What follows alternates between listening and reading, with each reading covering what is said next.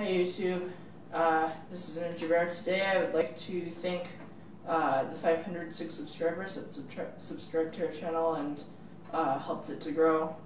And it's been a really long time since I did a video, but I'm finally going to make this the uh, full review on the New Yoda Chronicles DVD video that I was talking about in my last video. And in that one I did say in my next video I would do um, my full review about it, but I guess it just um, took me a really long time to do that. So uh, I'm finally doing it today. It was a really good movie if you liked the past Lego Star Wars movies because they were so funny and action packed, then you'll love this one too if you watch it. Uh, and so I think it's really cool and one of my favorite ones. It has four episodes in it, and it also has an alternate ending to the Clash of the Skywalkers. And in the alternate ending, I think it's Darth Vader wins instead of Luke Skywalker, but in the original,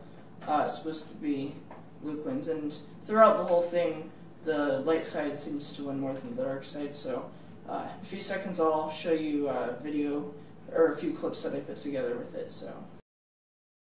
Never underestimate the power of the world.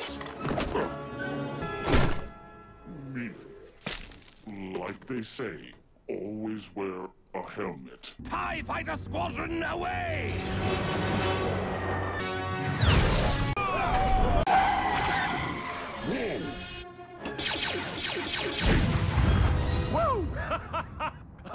Joey. well, that's the last we'll see of him. You win this one, but the Empire will strike back! I kinda like it!